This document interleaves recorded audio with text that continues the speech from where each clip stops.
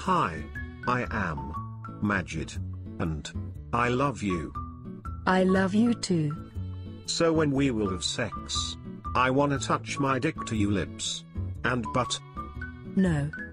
Why? Cause you got small dick. But I need big. Then why you are here? I was thinking your father will fuck me and had sex. Say him that I wanna eat his cum and dick. Okay Vanieza. I'll go and send my father. Okay. Okay sexy.